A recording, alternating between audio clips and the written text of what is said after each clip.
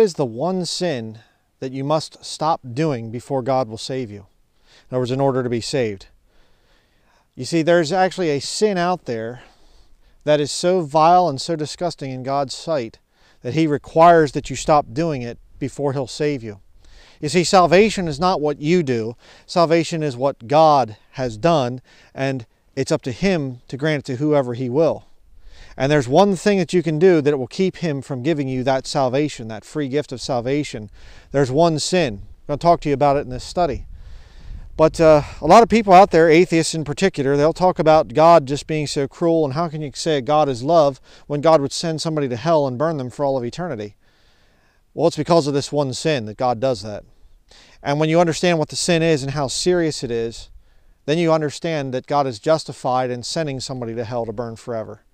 You say, what sin could be so terrible? Is it drinking? No, it's not drinking. Is it drugs? No. Is it rape? Is it child molestation? Is it anything like that. No, it isn't. I'm going to show you from the Bible today, the King James Bible, what this sin is and why it's so serious. You say, what is the sin? Very simple self righteousness. Because if you're self righteous, then you can't ever have the righteousness of Jesus Christ be given to you. It is a sin condemned in the pages of Scripture. I'm going to show you the verses. And if you are a self righteous person, God will never save you. Let's look at the scriptures. Romans chapter 10. And you need to get a Bible and actually read along. A lot of people just sit there and watch videos and kind of with their mouth hanging open and don't really, you know, follow along and whatever else, and that's why they're easy, easy to deceive. I'm not here to deceive you. I'm here to show you what the King James Bible says and to get you to look it up in your King James Bible and make sure I'm telling you the truth. This is your standard. Not here or any other preacher out there. Romans chapter 10, verses 1 through 4. Brethren, my heart's desire and prayer to God for Israel is that they might be saved. True for any Bible believing Christian, by the way. You will have a heart for Israel. You won't hate the Jews. For I bear them record that they have a zeal of God, but not according to knowledge. Are the Jews zealous for God? Absolutely. You get an Orthodox Jew or, or an ultra Orthodox Jew or whatever else. I'm not talking about modern Jews that could care less about God or whatever, they're just secular. I'm not talking about them. I'm talking about the Orthodox Jews. Yeah, they have a zeal of God, but not according to knowledge. For they being ignorant of God's righteousness, look at this, and going about to establish their own righteousness. What is that? Self righteousness. That's the most serious sin that there is have not submitted themselves unto the righteousness of God. He said, What is the righteousness of God? Keep reading. For Christ, Jesus Christ, in other words, is the end of the law for righteousness to everyone that believeth. You say, well, then belief, salvation is just a belief. It's just an intellectual thing. No, no, no, no, no. You have to come to the end of your self righteousness. When you realize what Jesus Christ did on the cross, you aren't going to say, hey, I'm, I'm a good, good person. Then why did he have to die such a terrible death on the cross if you're such a good person? Was it he died the terrible death for the really bad people, but not for you? You can just say, well, I believe he died, and you know, it's, I guess technically we're all sinners. No, no, no. You're a dirty sinner. You're a rotten, filthy, dirty sinner. So am I. None of us are good. That's what the Bible says. There's none good. Nobody can say, I'm a good person, unless you're self righteous. You see? And you go about to establish your own righteousness. Notice that. It isn't, well, I, I feel that I'm righteous, therefore I am, whatever. No, no, no. They go about to establish their own righteousness. That's the purpose of religion, you see. Organized religion is all about you having a cloak for your sin, number one. Number two, so that you can go about to establish your own righteousness. As long as I go to Mass, as long as I go to confessional, as long as I uh, live without electricity and drive around an Amish buggy and dress in all black polyester. What are they doing? Establishing their own righteousness. That's why they all believe they can lose it. Righteousness is kind of a little meter, you know. You get kind of, or the or scales, whichever one you want to make. You know, I'm doing all these things in penance and whatever else, and oh, it's tipping the scale over this way. I'm sure I'm righteous. Look at me. Oops, I went out and I got drunk and I, I kind of had an extramarital affair. Uh oh, it went down a little bit. I better do some good works again. You're going out to establish your own righteousness. Luke chapter 18.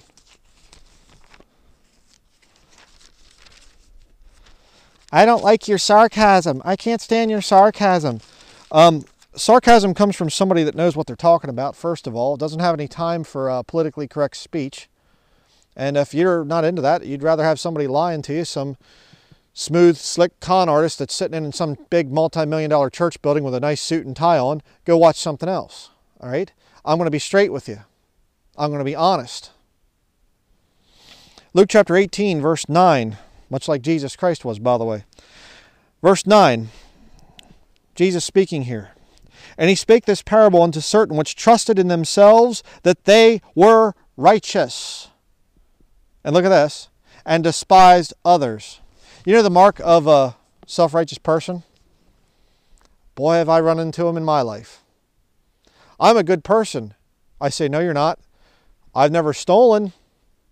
I've not committed adultery. I've not ever raped anybody. I've never murdered anybody. What are they doing? Trusting themselves that they are righteous and they despise others. Hey, I'm no Adolf Hitler. What are they doing? They're comparing themselves with other lost people. I might have, I'm no, I'm no saint. I love that one when they say that. Yes, you're definitely true on that one. I'm no saint, but at least I haven't done whatever. I'm a good person. I've done good things. I taught Sunday school for 20 years. I'm not a bad person. I was, I was a deacon. I give good tithes and offering at church. I was baptized as a baby. Trusting in yourself that you are righteous. I'm a, I, I, I work at the Torah Institute. I've studied the Torah and for years, and I've taught and everything else. And uh, you know, I've taught at a seminary, and and I, have I've trained a lot of things. I've been a missionary for many years, and and whatever. What are you doing? If that's the stuff that you're counting on for your salvation, all you're doing is going about to establish your own righteousness. And you'll look down at the dirty, filthy people out there. You find enough filthy people to give you a nice pedestal that you can stand above them and look down and say, well, I'm not perfect, but at least I'm not like the people down below, you know?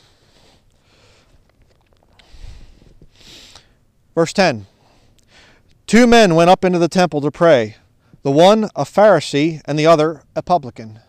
Pharisee is a religious man, the publican is a government tax worker, essentially, essentially like a modern IRS or whatever you have in your country. The Pharisee stood and prayed thus with himself God, I thank thee Notice he prayed to, uh, just with himself, by the way. The Lord's not even hearing him. God, I thank thee that I am not as other men are, extortioners, unjust, adulterers, or even as this publican. See? Despise others. Hey, I might be a, I might have a few little things, little issues here, but uh, at least I'm not like a filthy government tax collector, kicking people out of their homes and, you know, whatever else, because they aren't paying their taxes. I'm not quite that bad, you know. I fast twice in the week. I give tithes of all that I possess. Hmm? Like a lot of church building people. I do nice things. I helped an old woman across the road the one time, and and I, I you know I used I've I've I've volunteered for the Boy Scouts, and I'm a member of the Masonic Lodge, and and I you know I'm I'm part of the Lions Club. Okay, I got an award from the Rotary Club for the service I did in my local community. What do you tell me I'm a bad person? Yeah, run into it many times. Verse 13. And the publican standing afar off would not lift up so much as his eyes unto heaven, but smote upon his breast, saying, God be merciful to me, a sinner. Hmm. Have you ever been there? Broken? realizing you've made a mess of your life and you have no chance of ever getting into heaven. Somebody comes up to you and say, "Oh, you're a good person." You look at them and you just say, "You don't even know me. I'm not a good person. I'm rotten. I'm terrible. Why don't you come to church? We'll, we'll fix you up." Uh, you know, and you go, "I've been to church.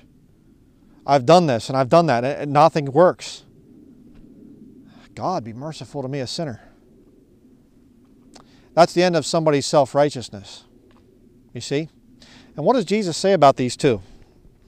Verse 14 I tell you, this man went down to his house justified rather than the other.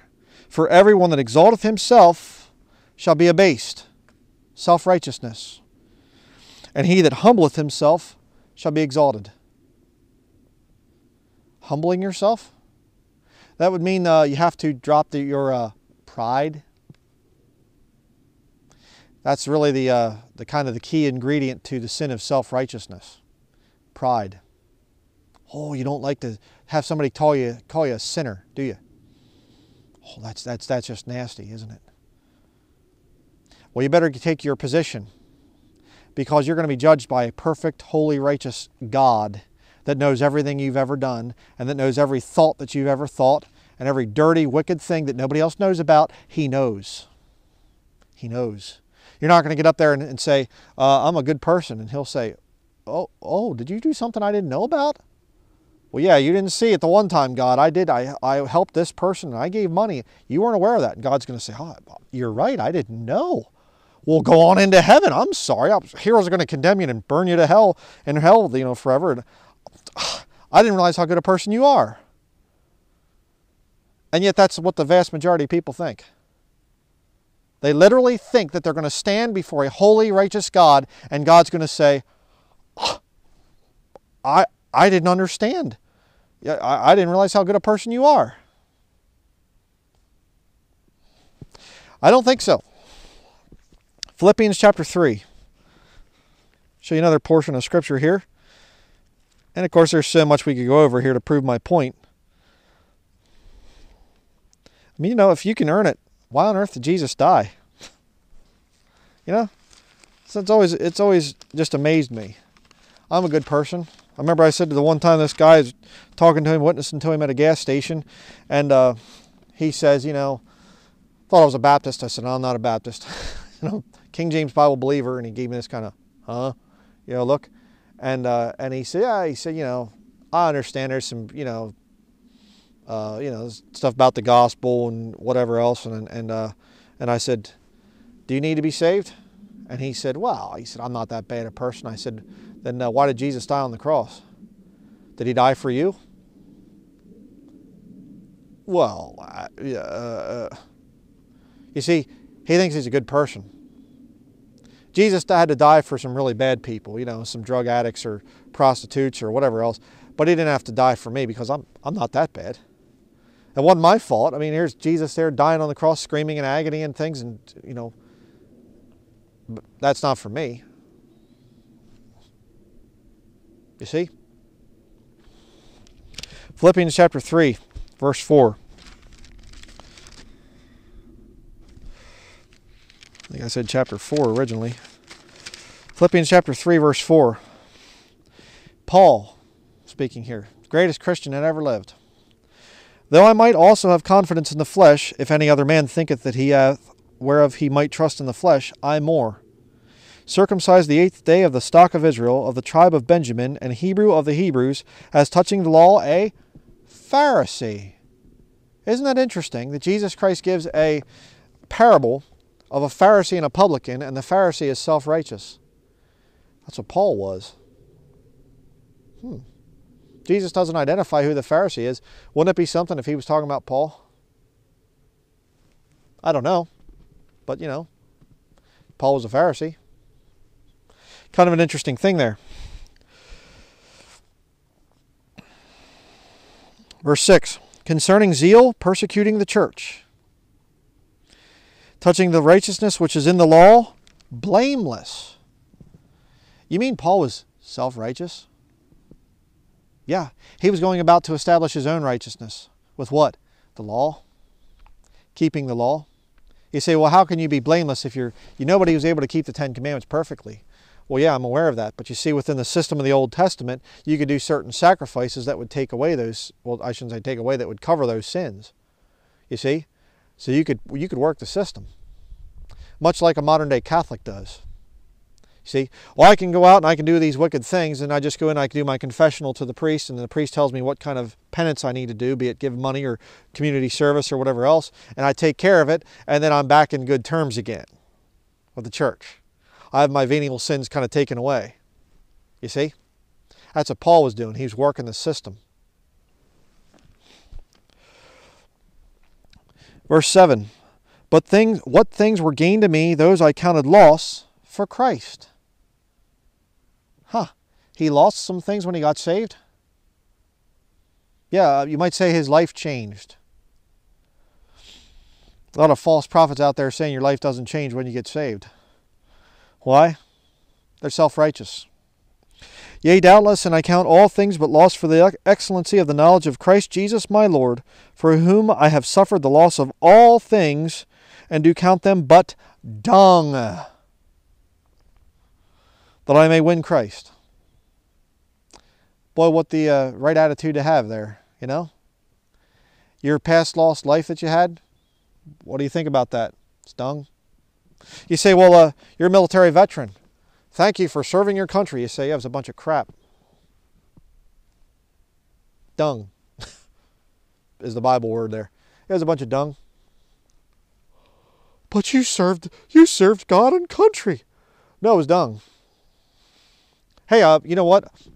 I had a PhD from such and such seminary. Yeah, what do you think of it now that you're saved? Dung you know all that good stuff I did, and all that everybody says, "Oh, you were such a good person. You were one of the nicest teenagers I've ever met, and one of the nicest young people, and and you've employee of the month and whatever else, and you get saved." Dung.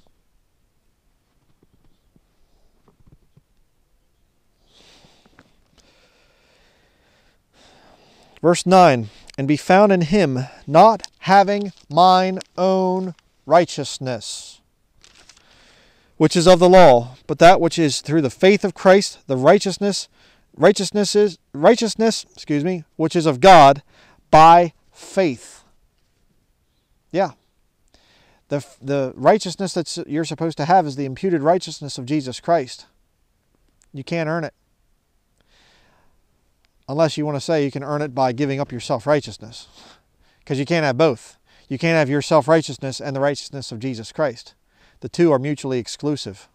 You can't have both. And here's why a lot of the people don't want to really get saved. Verse 10 that I may know him, Jesus Christ, in other words, and the power of his resurrection and the fellowship of his sufferings, being made conformable unto his death. Oh, oh, oh, oh. You want to hold on to that dung a little bit longer there, don't you?